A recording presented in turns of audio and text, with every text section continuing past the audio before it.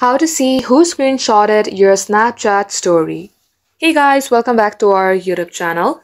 In today's video, I'm going to show you how easily you can see if somebody has screenshotted your story. So without any further delay, let us get started. First thing first, let's go ahead and open up our Snapchat application. Get logged into your Snapchat account, then tap onto your Bitmoji on your top left corner. Just as it is so, under My Stories, you will be able to see a eye icon and a send icon that is also called a screenshot icon. It means I have one view and one screenshot from my story. Tap onto it. Tap on this view icon on your bottom left corner. And you will see this person has viewed my story.